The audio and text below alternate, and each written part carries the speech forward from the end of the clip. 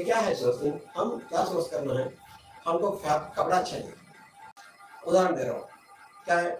हम हम per day एक दिन में हम हज़ार शर्ट बनते हज़ार शर्ट बनने के लिए कितना कपड़ा चाहिए?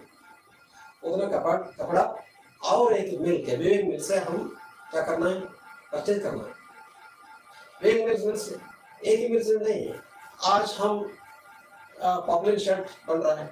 कल हम लाल नाइट शर्ट बनते हैं कल हम डॉबी शर्ट बनते हैं। और अलग अलग डेली हम चेंज करते रहते हैं हमारा प्रोडक्शन हमारा मार्केटिंग क्या है? क्या क्या चाहिए?